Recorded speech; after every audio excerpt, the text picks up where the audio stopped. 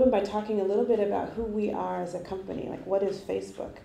Many of you are like me your mothers, your daughters, your friends, your partners. Personally, I'm a mother of four, so I admit, not on purpose, no. Um, so, so I admit to using Facebook to post hundreds, maybe thousands of pictures of all of my children and all the adorable things that I think that they do. Um, that in and of itself is amazing because it allows my mother who lives in San Francisco, my aunts who live in Lagos, my friends who live in Paris um, to join me um, in celebrating my children. Um, but I have a, I think what's even more amazing about Facebook is its, its, its, its ability to connect across billions of people. So I have a, an audience participation. I have a question for you.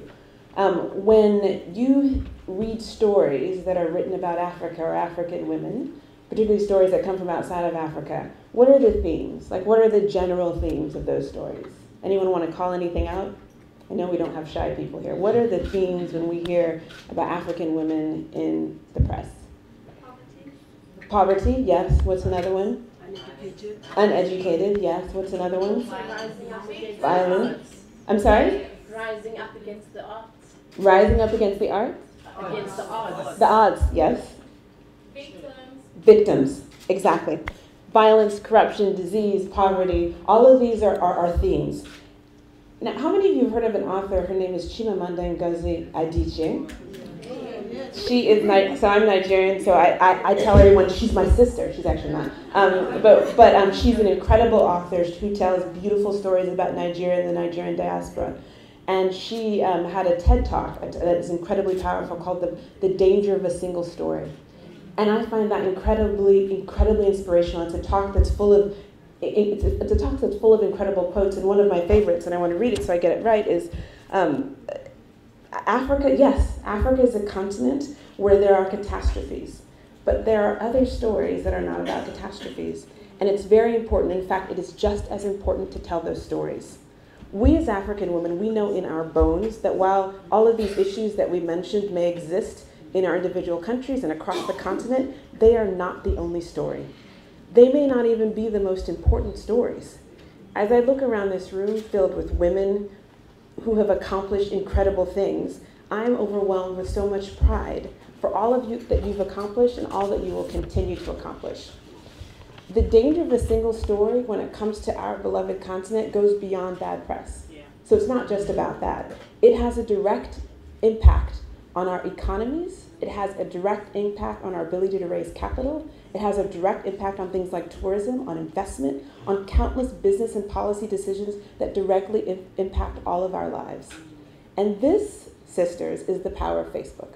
Now, I'm not saying that Facebook is the answer and the solution for everything, but I came to Facebook specifically because of the, the power that is behind telling your sto- own stories. If you think about it, it's an incredible amount of power to tell a story about a person or about a people and have that become truth. So if you think about Facebook, it provides a platform to connect and for people to tell their own stories.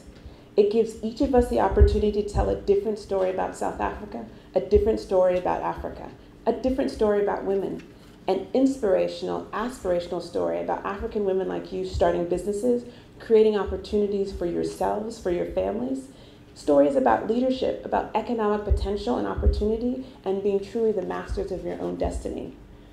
What's powerful about Facebook is it brings together a global community of 1.4 billion people from around the world, 100 million across Africa, 12 million across South Africa, and many millions across the African diaspora. Millions of opportunities to, to connect, millions of opportunities to tell stories. Here's an example. So, the dress I'm wearing today um, was designed by a Nigerian woman. And I thought it was, I loved the story that you told because this demonstrates the power of the internet and Facebook. This Nigerian woman designer created a small business. She sources her fabrics from Tanzania. She gets people who, to create across the African diaspora and she sells them online. Without the internet, how would I, I would never be able to find this woman. Without the internet, she would never be able to find the Tanzanian women who sew for her With the internet, she by herself is a corporation. I bought this dress from London from a Nigerian woman who had it made by Tanzanian women. This, my sisters, is the power of the internet. This is the power of social media. This is the power of connecting people. And this is the power of different types of stories